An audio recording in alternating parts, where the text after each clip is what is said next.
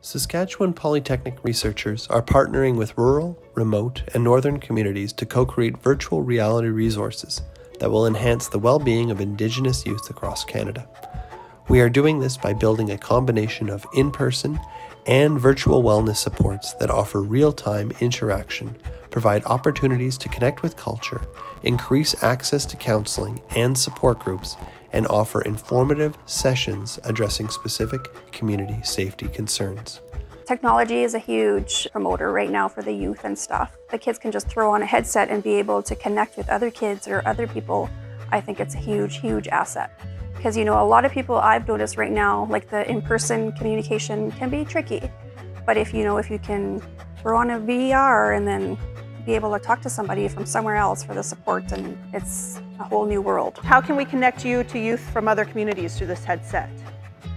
How can you access information on this headset that you may not feel comfortable asking for or to get the answers to those questions that you're curious about but don't really know. Um, VR is a good approach because of the audience we're trying to uh, reach, and that's our youth.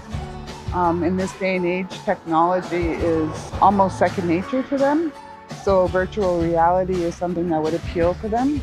And finding different strategies to towards wellness. Talk therapy is one, one strategy, but um, virtual reality um, programs are another strategy and so forth, right? The more strategies you have, the more successful we could be at helping students become well. People tend to look at our world as um, as hurtful and uh, when they kind of, you know, get on this the system that could bring them into their own world, their own little personal space, they kind of feel connected and safe to that environment that they're in.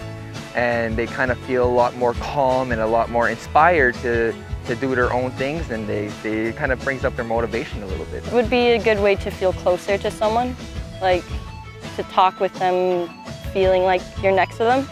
If you don't really like leaving your house too, and you still want to have interactions. Uh, when I first tried the VR, it was pretty cool. So I was just me and my cousin passing and I got it, I didn't want to take it off. I've always wanted to try VRs. Never had a chance to until this whole little project came around. Not everyone likes to really be present all the time. A lot of people get too lost in their heads.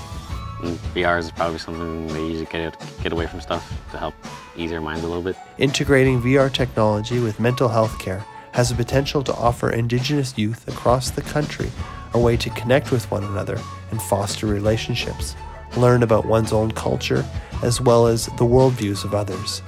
If I could take a VR camera, I would take one to my grandpa's lake. And uh, I kind of would like to bring that environment to see with the other kids out in the cities who can't really go hunting or fishing and to, to, give them kind of the experience that I got. If I was like living in the city or something, I want to go on a VR, see a bear. If I were to take the VR camera anywhere, I would like to take it to the beach, record the sunset, and recording even the nighttime stars over there. It's really nice.